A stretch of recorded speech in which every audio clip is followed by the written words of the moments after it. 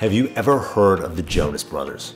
Well, if I could go back in time, I would have warned the 2007 Justin that the Jo Bros were kind of a big deal. Back in the summer of 2007, we were pivoting Justin TV from a show about me to a platform for anyone to broadcast their own live video streams. And then, out of the blue, we got an email from the Jonas Brothers. Here's the story of how we helped them do their first ever live broadcast to the internet, had the world completely in our hands, and then fumbled the ball. In March of 2007, we launched my live streaming show where I broadcast my life to the internet 24 7. That's right, I was the OG live streamer. But there was only one problem. My life was incredibly boring. Most of the show consisted of me eating, sleeping, or working on my computer. And consequently, the people who came to watch me would say, hey, get off your ass and go entertain us. So, by the summer, my co founders and I decided that we needed to open up Justin TV as a platform to let anyone broadcast live video.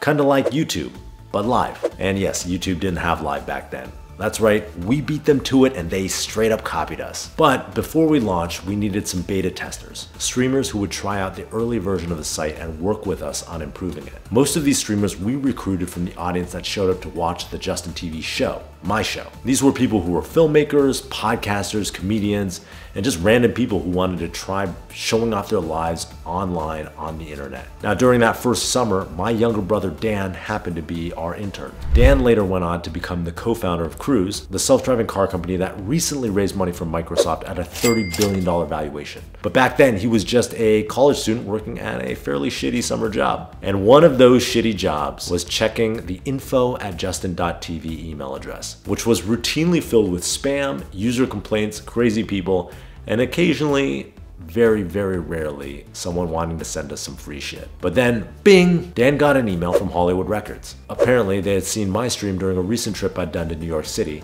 and were impressed that it had kept working no matter where I seemed to go. Times Square, inside elevators, walking down the street. Now they wanted to do a live stream of one of their new acts, the Jonas Brothers, and thought that maybe they could do it with us on our site as a way to promote the band. At the time, millions of teenage girls probably would have loved to be in our shoes, but we had never heard of them. So we said, hey Dan, go run with it. And he went on to help them schedule a series of live broadcasts for fans on Justin TV, timed to coincide with their upcoming album release. Uh, I think these guys might be kind of big. That's what Dan tried to warn us before the broadcast. But we figured it was probably pretty safe to ignore them and just go back to whatever we were doing. At this time, the streams on our site were not very big, and our servers were set up to handle a minimum amount of load. Little did we know how totally unprepared we were for the traffic apocalypse that is teenage girls trying to get in touch with a boy band. The first broadcast we did with them suffered from some downtime and latency problems, but Overall, the experience was okay, and the fans seemed receptive, and the band agreed to continue broadcasting. Now, the second broadcast was set to be much, much bigger. The Jonas Brothers team promoted for longer, and it was closer to the album dropping. We made an effort to take what we learned from the first broadcast and harden our tech, and we thought we were prepared. Now, there's a concept in computing called the thundering herd problem, where many processes wait for the same event, and when that event occurs, the processes are all woken up, but only one can be served and the rest go back to sleep, only to wake up again and request access to the same resource. This drains system resources, eventually grinding everything to a halt. Jonas Brothers fans were the ultimate thundering herd. 30 minutes before the broadcast was set to start, the site crashed. Thousands of fans were browsing the page in advance, signing up, logging in, and favoriting the Jonas Brothers channel. All these activities, plus the constant background of refreshing on the page to check whether the stream was up created this massive strain on our servers and the site proceeded to, mm, what's the technical term?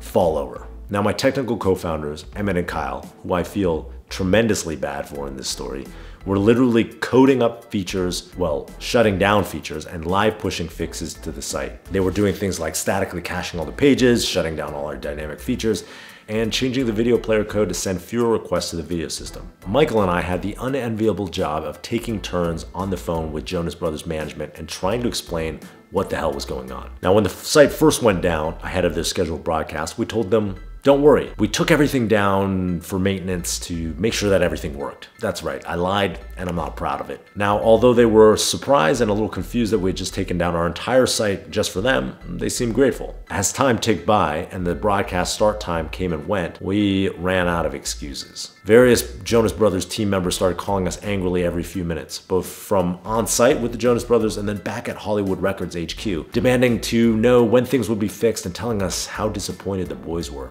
Without a better idea, Michael and I resorted to telling whoever we spoke to that they should call whichever one of us wasn't on the phone at that precise moment for the most cutting edge update. In reality, Michael and I were standing in the same room, sweating profusely and staring at each other with haunted, bewildered looks. Just as Michael and I hit peak freak out, our office manager, Aram, walked by and casually uttered something that I'm gonna remember to the end of my days. He said, officers don't have morale problems. Now, there's a very good lesson in there somewhere, and I wish that I could say I realized the profound truth in Aram's words and immediately pulled myself together, providing a stunning example of grace under fire to our frantic team and rallying them to get everything working. Instead, I think I screamed something along the lines of, What the are you talking about? And continued bemoaning whatever I'd done in a previous life to deserve being so close to success, only to see Justin TV's prospects swirling down the drain. After what felt like decades, but was probably only 25 minutes, Kyle and Emmett jerry-rigged the site into a functional state and the broadcast proceeded. In retrospect, not the end of the world. But Hollywood Records lost all faith in us and moved all of their promotional broadcasts to our competitor. Ustream. Eventually, we got better at scaling, but not before the rest of Hollywood got on board Ustream instead of Justin TV. We were stuck with the random podcasters, people chatting at their webcams, and the gamers, which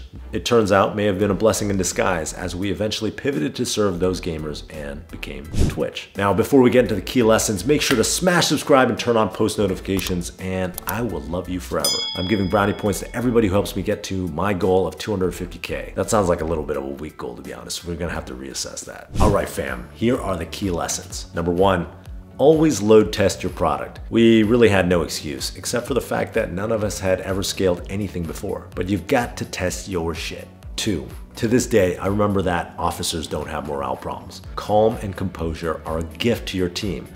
Do the self work so that you can maintain them. Number three, celebrity broadcasts are sexy, but they don't make any money. We were enamored by the cool factor, but our real market turned out to be eight hour long gaming streams. Don't just get caught up in the shiniest thing. Boom, that's the story. You know what to do. Smash subscribe, and I will see you guys next week.